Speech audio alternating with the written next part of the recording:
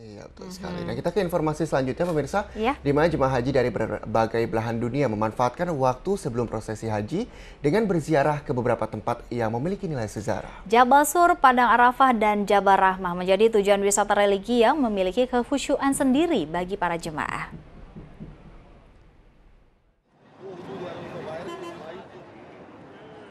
Ribuan jemaah haji dari penjuru dunia silih berganti berziarah ke tempat-tempat bersejarah di Mekah, Arab Saudi.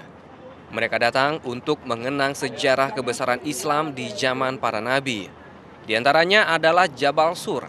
Terdapat gua Sur yang menjadi tempat persembunyian Rasulullah Shallallahu Alaihi Wasallam dari kejaran tentara kafir Quraisy. Selanjutnya adalah Padang Arafah, tempat di mana nantinya para jamaah haji akan melaksanakan wukuf sebagai rukun haji.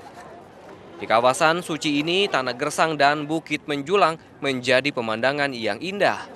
Di Padang Arafah terdapat Jabal Rahmah, tempat bertemunya Adam alaihissalam dan Siti Hawa setelah diturunkan ke bumi. Cuaca yang mencapai 43 derajat Celcius tidak membuat semangat para jamaah surut menaiki Jabal Rahmah untuk berdoa.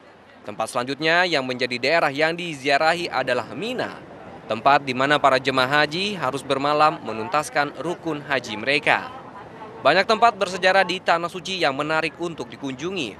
Selain nampak tilas, di kawasan suci ini lekat dengan suasana hikmat perjalanan haji. Tempat di mana bagi para jemaah merenung dan mengevaluasi diri sendiri.